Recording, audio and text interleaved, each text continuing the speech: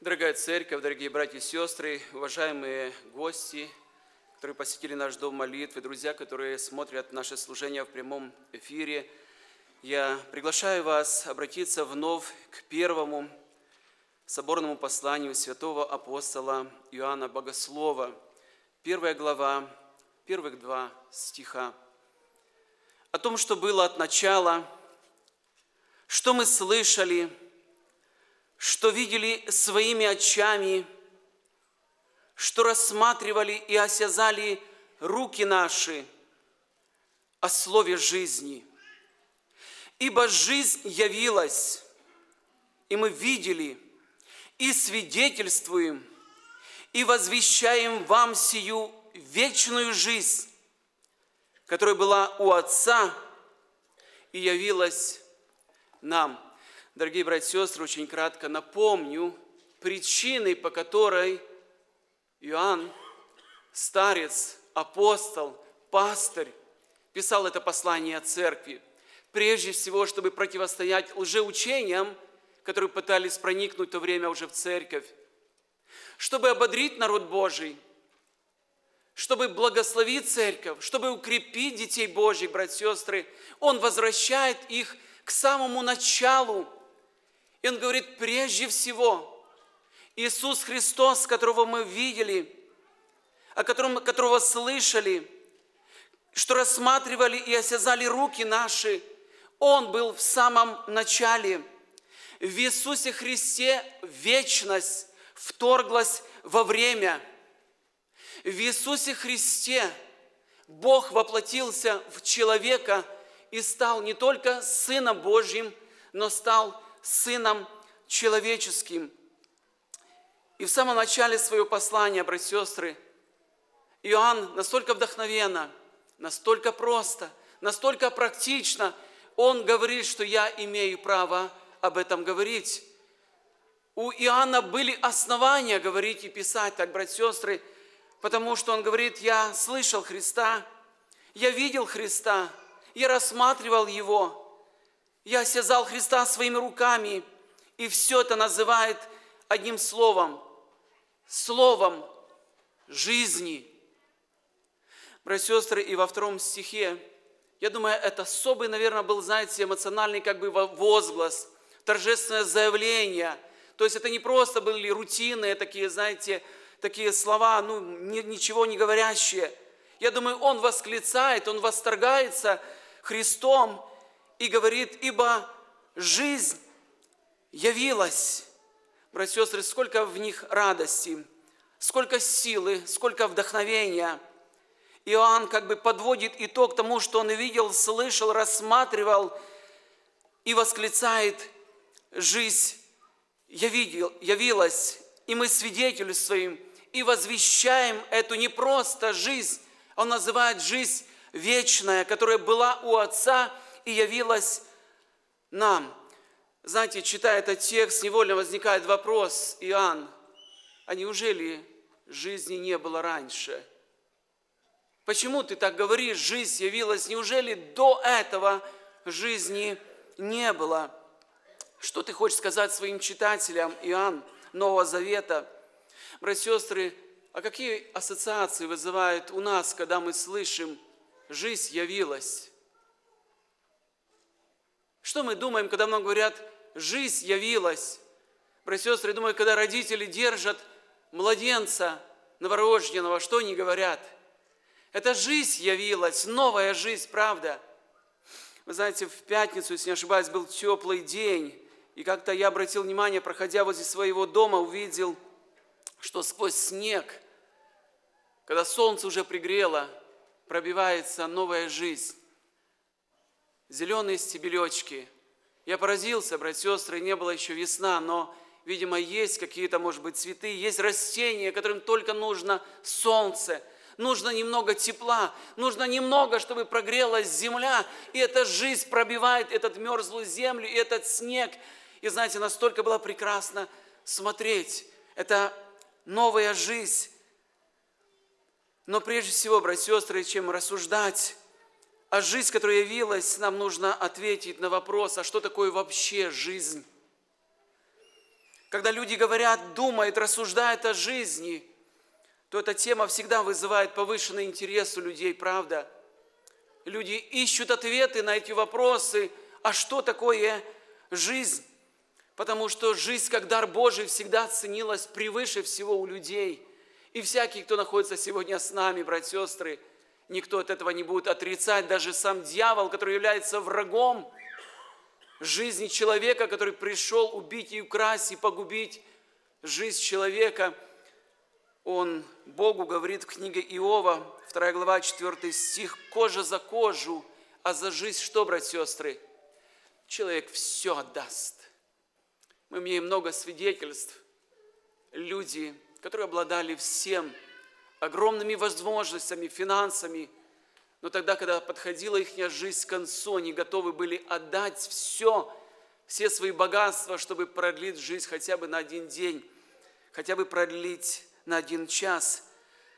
Братья и сестры, поистине самой большой загадкой на сегодня, как ни странно, братья и сестры, остается вопрос для многих и многих людей, думающих, а что же такое жизнь?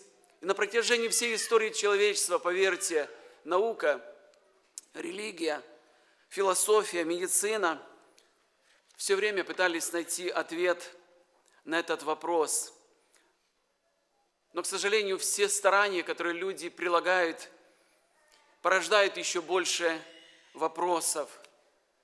Потому что ответ, братья сестры, что такое жизнь, находится в самой жизни – ибо жизнь явилась, братья и сестры. Вот так Иоанн отвечает на этот вопрос в лице, в личности Иисуса Христа, говорит, вот жизнь явилась, которую можно слышать, которую можно видеть, которого можно потрогать, осязать его. Иисус Христос подтверждает слова апостола Иоанна и говорит, «Я есть путь, истина и жизнь». И люди, наверное, слышат этот вопрос, ведь когда-то Христос, этот, этот провозглашение, это заявление, когда-то тоже задавали вопрос, что имел в виду, и Христос называет себя «Я есть жизнь», ведь перед нами обыкновенный человек. На что он претендует? Потому что они перед собой видели человека, который был похож на них, имеющий такое же тело. Прежде всего, братья и сестры, первое, о чем бы мне хотелось сегодня – вместе с Иоанном, вместе с другими апостолами подтвердить статус источника и жизнедавца жизни в том, что Иисус Христос является Творцом всякого жизни, всякой жизни, всякого дыхания. Потому что Библия говорит, что жизнь во Вселенной началась не с большого взрыва, не с эволюции, не с какого-то хаоса, братья и сестры, а жизнь во Вселенной началась потому, что был Иисус Христос. И евангелист Иоанн в Евангелии своем, в первой главе, пишет такие слова, в третьем стихе, «Все через Него начало быть, и ничто без Него, и без Него ничто не начало быть, что начало быть». И четвертый стих первой главы говорится так, «В Нем была что? Жизнь. В Иисусе Христе была жизнь. Вот так он провозглашает. Это очень сильные слова. И апостол Павел подтверждает и говорит в послании Колосинам, 1 глава, 16 стих, «Им создано все, что на небесах и что на земле, видимое и невидимое, престолы ли, господство ли, начальство ли, власти ли, все им, и для Него создана. Братья и сестры, вот что такое жизнь. Жизнь в Господе Иисусе Христе и в Его творении. И поэтому, когда Иисус Христос, когда Он говорил, «Я есть жизнь», мы должны понимать, братья и сестры, что Он является Творцом, источником всего живого, что видим во Вселенной. Когда мы смотрим, братья и сестры, на этот видимый мир – когда мы смотрим на прекрасное небо звездное, когда держим на руках младенца, когда смотрим на прекрасные цветы, братья мы должны помнить, жизнь явилась. И причиной, источником был тот, о котором Иоанн сказал. мы видели, мы слышали, мы рассматривали, мы осязали руками. Жизнь явилась. Вторая мысль, которую я хотел бы сегодня сказать о жизни, это жизнь Сына Человеческого. Братья и сестры, Сын Божий пришел на эту землю и стал Сыном человечества. Христианство целиком вписывается в одно слово – Христос. Вы согласны? В одно слово – Христос. В этом его сила, в этом его уникальность, в этом его простота и доступность для каждого человека. И Библия говорит, что Иисус Христос, Сын Божий, через которого произошло все видимое и невидимое, весь мир, вся вселенная, пришел на эту землю и стал Сыном человеческим. Ибо жизнь явилась, и мы видели, и свидетельствуем, и возвещаем вам сию вечную жизнь, которая была у Отца и явилась нам. Братья сестры, смотрите, Иоанн, который так близко знал Христа, видел Его, слышал Его, прикасался к Нему, понимал, что это непростой человек. Это самая, самая жизнь явилась. И ученики, которые были с Ним, они видели настолько необычное проявление этой жизни. Братья сестры, вот почему, я думаю, в третьей главе Евангелия от Иоанна, когда идет описание, помните, пришел к нему ночью Никодим, сердце которого было неспокойно, сердце которого не удовлетворялось просто знанием или исполнением закона Моисеева, или просто, может быть, тем авторитетом, который он имел, братья и сестры, он искал большего – он искал Царствие Божие. Он искал самой жизни. Поэтому он пришел к ночи и начал Иисусом Христом этот диалог. Вот почему Закея, которым сегодня пела Оля, братья и сестры, который достиг, казалось бы, таким путем, то, что стремятся многие люди, имел неплохую финансовую базу, хотя нечестным путем, был начальник мытарем, братья и сестры, он не постыдился залезть на дерево, потому что он хотел видеть Иисуса.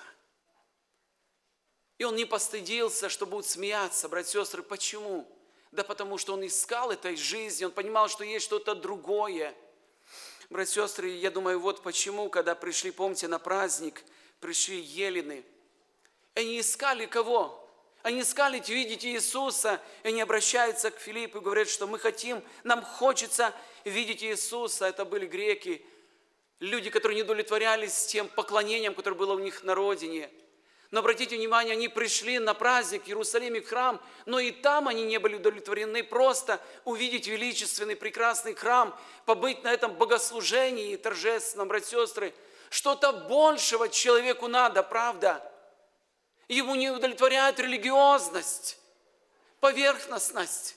Он хочет иметь жизни, братья и сестры, и не обрели эту жизнь. И когда мы читаем Иисус, Он как бы возрадовалась.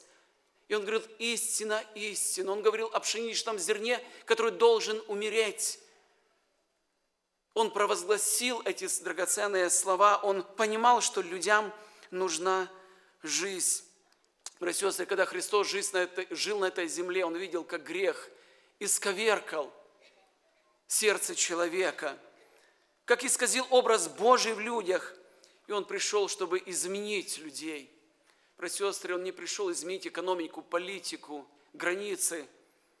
Он говорит, 10 глава Иоанна, 10 стих, «Я пришел для того, чтобы вы имели что?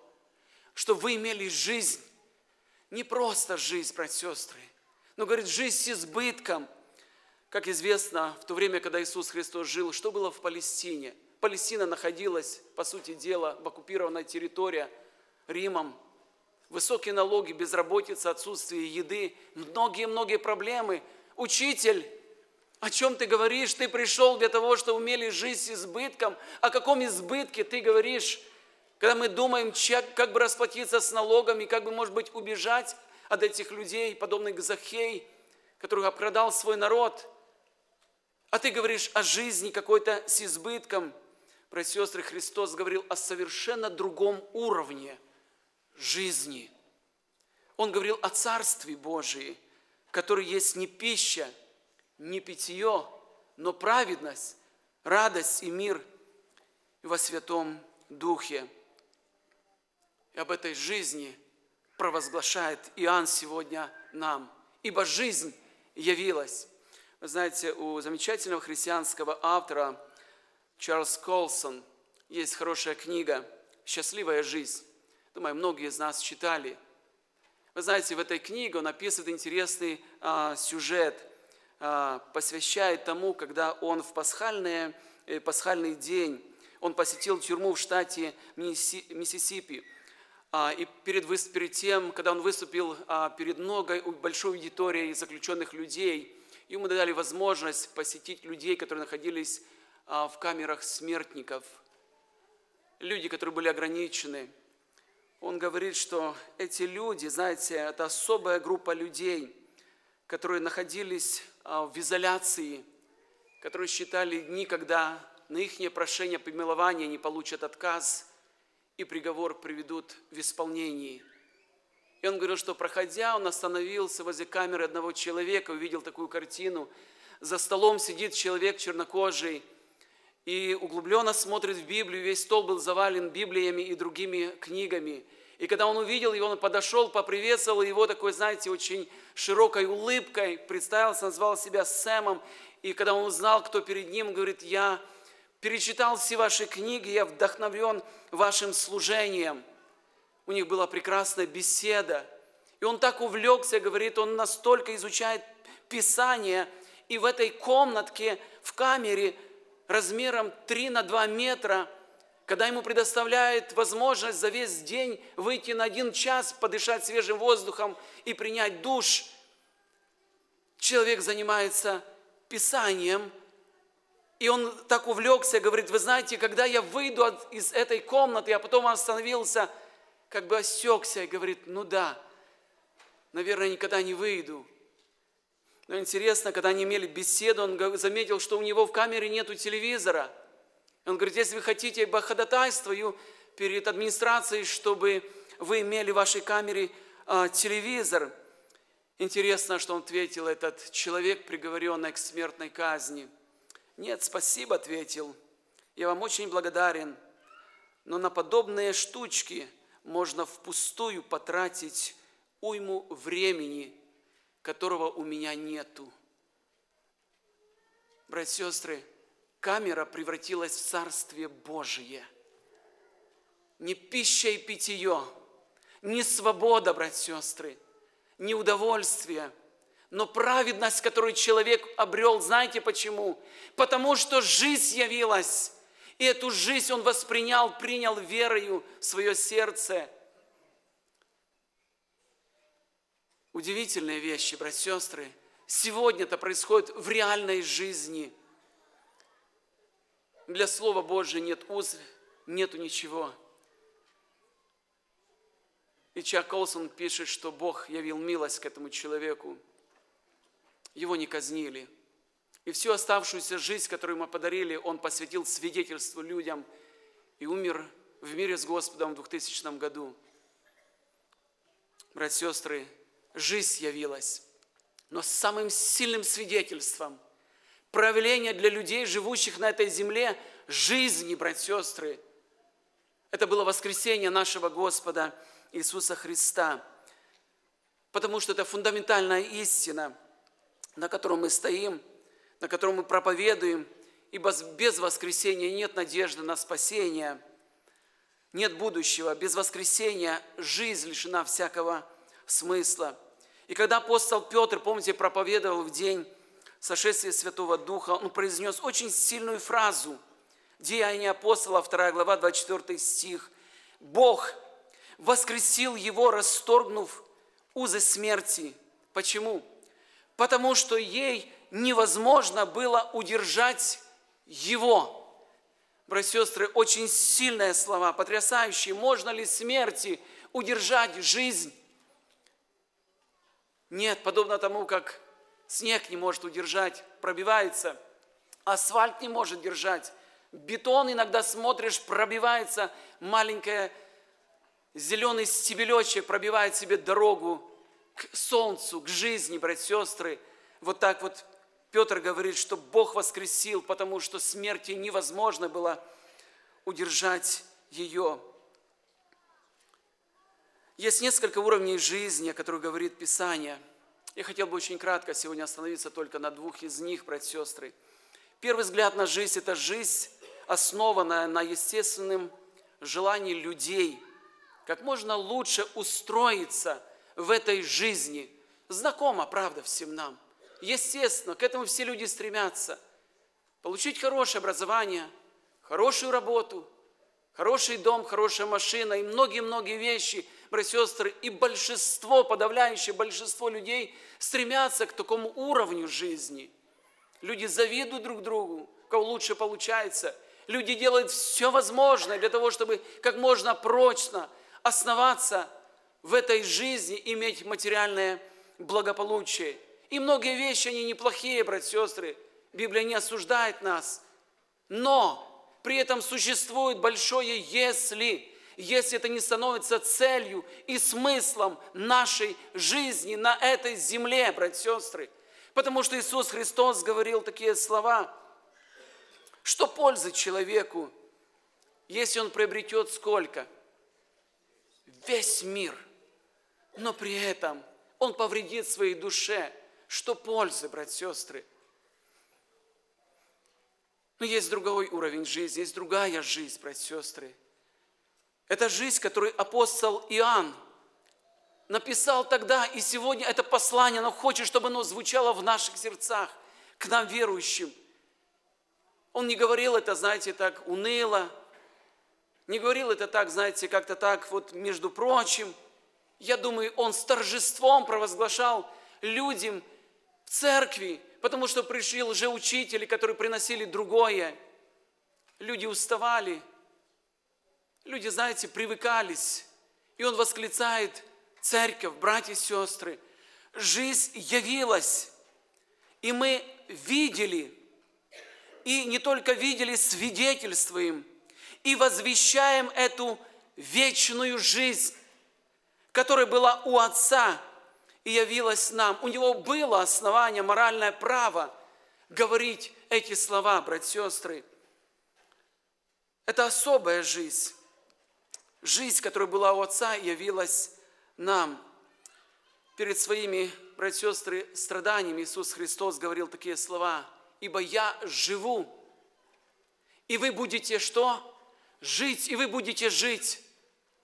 Иоанн при жизни, он видел Иисуса Христа – говорящим, проповедующим, исцеляющим. Иоанн при своей жизни видел Иисуса Христа на Голговском кресте. Иоанн видел Иисуса Христа воскресшим. Иоанн видел Иисуса Христа вознесшимся на небо. Иоанн видел Иисуса Христа прославленным на острове Патмос. Поэтому у нас есть основания доверять этим словам, которым он говорит, ибо жизнь явилась Иисус Христос говорит к тем людям, которые задают сегодня вопрос, а как же смерть? Кто перед ней устоит? Вы сегодня проповедуете какой-то жизни, но сегодня реальность смерти постигает многих-многих людей, и никто еще не, смех, не смог застраховаться. Про сестры Иисус Христос отвечает на этот вопрос так. «Я есть воскресение и кто? И жизнь верующий в меня, если умрет, что произойдет с ним? Он оживет, братья сестры, потому что смерти невозможно удержать того человека, который получил здесь, на земле, вечную жизнь от самого Господа. Позвольте задать сегодня всем, кто слышит, видит, кто находится с нами в доме молитвы. Имеете ли вы эту жизнь? Я понимаю, что есть вопрос, а как получить вот эту жизнь, жизнь вечную на этой земле? Евангелист Иоанн тоже об этом дает ответ. Когда мы будем рассуждать в пятой главе, придем в свое время рассуждать, мы встретимся там с потрясающими стихами. 11-12 стих 5 главы этого послания. Он говорит так, свидетельство сие состоит в том, что Бог даровал нам жизнь вечную – и сия жизнь в Сыне Его. Имеющий Сына Божия имеет жизнь, не имеющий Сына Божия не имеет жизни. Какие простые, потрясающие слова. Братья сестры, жизнь вечную Бог дает тем, которые верою принимает Сына Божия в свое сердце. Иисус Христос – это живая личность. Его можно принять верою в свое сердце, в свою жизнь и обрести эту вечную жизнь. Имеющий Сына Божия имеет жизнь. Вот почему я говорю, что христианство в одном слове заключается – Христос. Оно доступно, оно понятно, оно принимаемое каждым человеком, где бы ни находился, в какой обстановке, в церкви ли, дома ли, слушая проповедь, читая это Писание. У Чак Колсона есть еще, еще одна, одна из прекрасная книга, которая называется «Тело Христова». Наверное, многие тоже читали. Эта книга заканчивается следующей историей. Она рассказывает об одном человеке, молодом человеке по имени Расти Вумер. Молодой который, человек, который сделал много своей жизни зла, греха. И за все его преступления суд осудил его, вынес ему приговор, смертная казнь. И когда Чак Колсон посещал тюрьме, он познакомился с этим человеком. Он обнаружил его в камере, грязный, в депрессии, злой, который ненавидел весь мир, всех людей. И он подошел к нему и говорил, сынок, у тебя есть возможность обратись к Иисусу Христу и прими Его как Спасителем Господа в свою жизнь. Это для тебя последний, единственный шанс – этот молодой человек, который слышал когда-то в детстве об Иисусе Христе, воспользовался предложением. И он принял Господа как жизнь. И когда он пришел на следующий день, он увидел преображенную камеру, была чистая, радостное лицо, радостные глаза. И он говорит, пастор, я всю ночь чистил свою камеру, чистил свои стены. Я получил прощение у Иисуса. Несколько страниц он посвящает последним часам жизни этого человека на этой земле. Когда он мог привести в порядок все свои отношения с родными, он написал письма людям, которым он причинил зло, и получил от них прощение. Даже произошла встреча в тюрьме. интересно, он говорит, я видел глаза этого человека за несколько часов. И он говорит так, я убедился в этом лично, когда посетил Расти за несколько часов до его смерти. Он утверждал, что глаза Расти наполнились радостными слезами, когда он думал о встрече, ожидающей его за порогом смерти. Расти делился своим предчувствием так. «Я думаю о его сиянии, о его силе, о его любви. Тебе совсем не страшно того, что кто-то тебя так любит, что готов тебе все простить.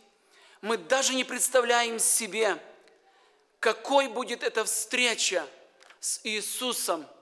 Братья и сестры, это свидетельство человека, которого нету уже на этой земле с нами. Но человек, который обрел жизнь. И я хочу сегодня вновь спросить всем, верующих людей, которые находятся в этом зале, дорогие друзья, имеем ли мы эту жизнь, которая была у Отца и которая явилась нам.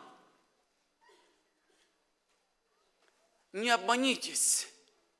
Религиозность не поможет в день перехода.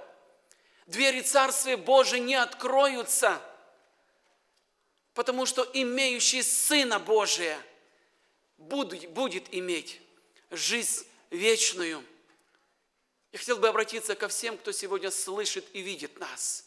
Если вы не находитесь в церкви, но ваше сердце касается Иисус, примите жизнь там, где вы находитесь. Склонитесь, когда церковь будет сейчас молиться. Примите Господа в свое сердце.